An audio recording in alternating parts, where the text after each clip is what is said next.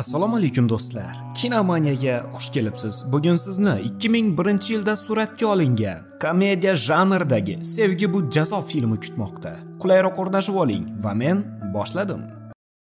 Film boshida vrach tushkunlikka tushgan ayolga erining bor yo'g'i bir necha daqiqa umri qolganligini xabar qiladi. Buni eshitgan ayol do'mboq o'g'lini otasi bilan vidolashgani jo'natadi. Ammo erkakni morfin bilan yaxshigina siylashgan edi. Shu sababli nima deyotganligini bilmasdi. O'layotgan ota o'g'liga so'nggi nasihatini beradi va onasiga o'xshash ikkinchi darajali qizlarga ko'ngil qo'ymaslikni aytadi. Hayotidan nolimasligi uchun u tanlagan qizning dumbasi gursillagan, sultonlar esa mursillagan bo'lishi kerakligini aytadi. Do'mboq otasining so'nggi vasiyatini bajarishga so'z beradi. Oradan yillar o'tdi va yigit endilikda faqatgina yosh va kelishgan qizlarni ov qiladi, ammo unchalik ham omadi kelmasdi. U o'ziga o'xshash o'ziga bino qo'ygan do'sti Maurisio bilan birga ovga chiqqandi. Do'sti o'z qadrini bilardi, shu sababli bir necha kun oldin oyog'idagi ikkinchi barmog'i katta barmog'idan uzunroq bo'lganligi uchun sohibjamol qizni tashlab ketgan emish. Hel esa o'z o'rnida chiroyli qo'shnisi Juel bilan uchrashayotganligini aytib maqtanadi. Umuman olganda ular faqatgina bir martagina uchrashgan edi. Qiz keyingi uchrashuvdayoq undan xalos bo'lishga qaror qilgandi. Ertasi kuni yigitni yana bir taqdir zarbasi kutib oladi. Uni ishda ko'tarishmadi. Helning hamkasblari uning o'zi ham kino yulduz bo'lmaganligi uchun nega qizlarni elakdan o'tkazayotganligini tushunishmaydi. Liftda qahramonimiz mashhur orator va biznes trener Toni Robinson bilan uchrashib qoladi. Ular bir necha soat liftda qamalib qolishadi va Hel unga butun hayoti va qizlar bilan munosabat haqida so'zlab beradi. Toni suhbatdoshining chalkash hayotidan hayratga tushadi. U hatto ketib qizdan ham kamchilik topardi. Shu sababli Toni unga avval insonning qalb go'zalligiga qarashni maslahat beradi. Bu esa uning haqiqiy sohib jamol bilan uchrashishiga yordam berardi va uni insonning qalb go'zalligini ko'radigan qilib gipnoz qiladi. Gipnoz ish beradi. Do'mboq ko'chaga chiqishi bilan kelishgan malla soch bilan to'qnash keladi va bir qarashda unga shaydo bo'ladi. Hel qizga model bo'lib ishlasang kerak deydi va bu qizning kulgusini qistatadi. Haydovchi esa Vahuye. Hel qizning telefon raqamini olishga qaror qiladi va ikkovi ham bir-birlarini yoqtirib qolganliklariga ishonishmaydi. Kechroq Hel do'stiga bugun sodir bo'lgan voqea haqida aytib beradi. Mauricio esa doim diqqat e'tiborda bo'ladigan nogiron qachoqqa hasad qilayotgan edi. Bundan so'ng Hel birdaniga 3 ta jonon bilan raqsga tushadi, ammo Mauricio do'stining tanlovidan qayt qila yozgandi. U do'stini bu ketmonlar to'dasi degan so'zlar bilan keyinchalik o'zini kechira olmaydigan holatdan qutqarmoqchi bo'ladi, ammo Helga buning farqi yo'q edi. Ertalab Hel ko'zga jonon bo'lib ko'rinayotgan do'mboq qiz bilan uchrashadi va qiz ichki kiyimlar bo'limida velikan o'lchamdagi ichki kiyimni olayotganligini ko'rgach, o'rinsiz hazillashadi. Yigiz uzr so'rab aybini yuvish uchun qizni tushlikka taklif qiladi. Rozmari biroz o'zi haqida so'zlagach, o'lchamlarga mos kelmaydigan darajadagi yegulikni buyurtma qiladi. Yigitning uning qomatiga qilgan hazilni esa qiz maqtov deb qabul qiladi. Kutilmaganda Rozmeri o'tirgan stul uni ko'tara olmay mayshayib qoladi va qiz zo'rg'a o'rnidan turadi. Juftlikni ko'rgan bezorlar kafeda ovqat qolmagan ko'rinadi deya hazillashadi va Hel mening ustimdan kulishyapti deb o'ylaydi. Yigitlar oldiga kirgan Hel ketvorgan qizini ko'rsatib, ularning ustidan kulmoqchi bo'ladi, ammo bezorlar qiz borasida Helning fikriga qo'shilishmasdi.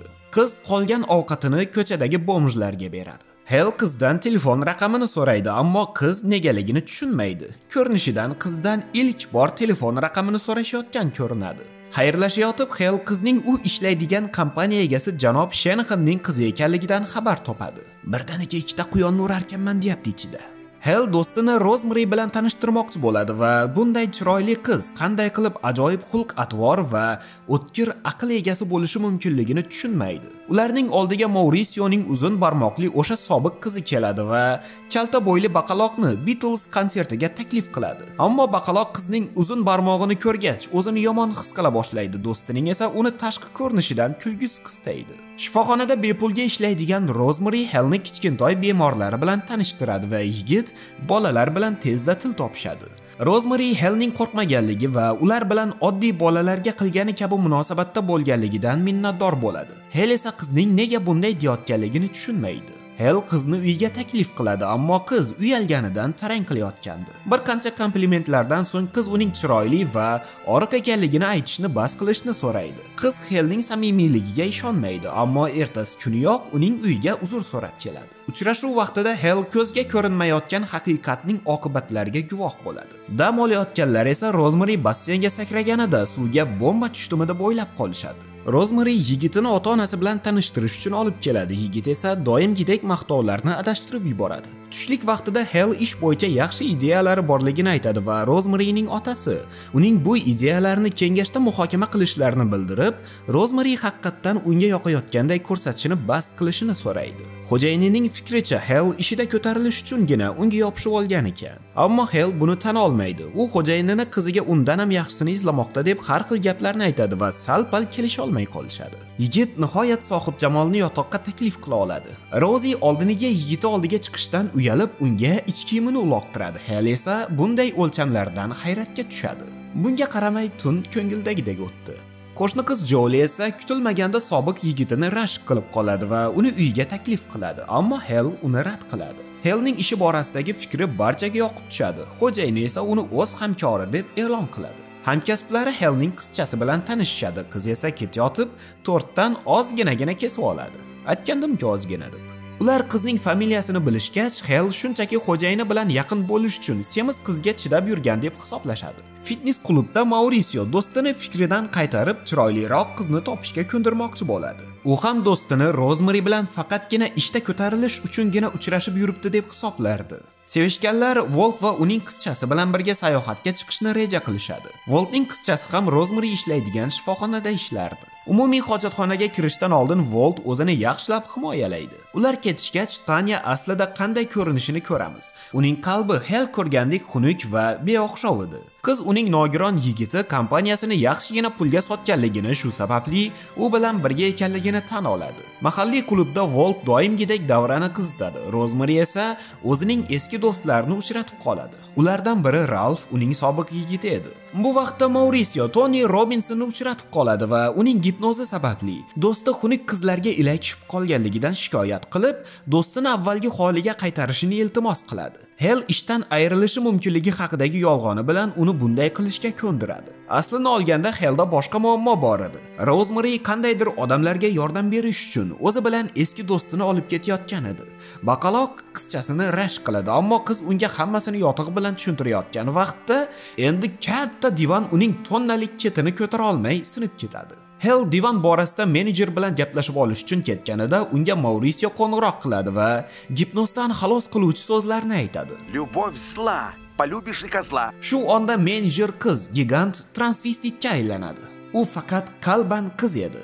Zalga qaytgan Hell qandaydir fil nega qizchasining ovqatini paqqos tushirayotganligini tushunmaydi. U hatto janjal chiqarmoqchi bo'ladi, ammo vaqtida yetib kelgan Mauricio og'zini yopib, uni olib ketadi va bor haqiqatni unga oshkor qiladi. Hell oldiniga bunga ishonmaydi, ammo uni taksida tanishib qolgan soloq tishli qiz uchratib qoladi va tanishganliklari haqida aytadi. Hellning bundan qattiq jahli chiqadi. Hammasi uning ko'nglidagidek ketayotgan edi. Boshqalar Rosemary haqida nima deb o'ylaganliklari esa uni qiziqtirmasdi. Mauricio esa undagi bu chiroyli sehrni olib qo'ygan edi. Hell yana o'sha gipnozchi bilan uchrashib, qalbni ko'ra olish qobiliyatini qaytarishni istaydi. Ammo hozircha Rosemary bilan uchrashmay turgani yaxshi. Aks holda uni borligicha ko'rsa, buni unuta olmasligi aniq edi. Qiz xonaga endi kirmoqchi bo'lganida Hell ko'zlarini maz bilan chaplab oladi va unda shunday kasallik borligini va bu yuqumli bo'lganligi sabab unga yaqinlashmasligini aytadi. Ishga kelgach, xo'jayini yoniga kelib, nega qizining qo'ng'iroqlariga javob bermayotganligini so'raydi. Hell esa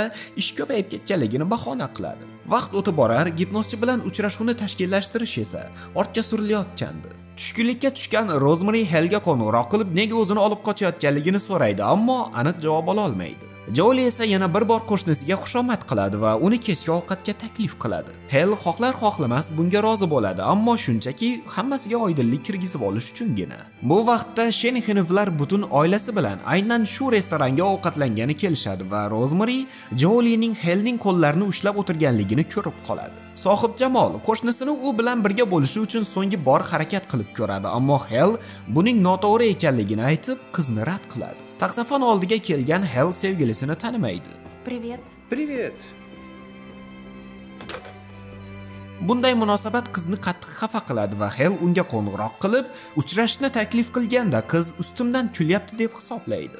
Oradan biroz vaqt o'tgach janob shenixin heldan qizini tinch qo'yishini so'raydi va unga erta ishonganligidan afsusda ekanligini aytadi. Bundan so'ng rozmari sobiq yigiti bilan yarashib olganligini va u bilan xizmat safarga jo'nayotganligini ma'lum qiladi. Rozmarini ko'rishga umid qilgan Hell shifoxonaga boradi va u yerda oldinroq ko'rishgan qizchalardan birini uchratib qoladi va u oldin ko'rgan qiziga umuman o'xshamasligini tushunadi. Rozmari aslida kuyish bo'limidagi bolalarga yordam ko'rsatardi. Qahramonimiz yoniga do'sti keladi va qizlarga nega bunday g'alati munosabatda bo'lishini aytadi. Gap shundaki uning o'zida ham kamchilik bor edi ya'ni ketiga chiqqan dumi bor edi.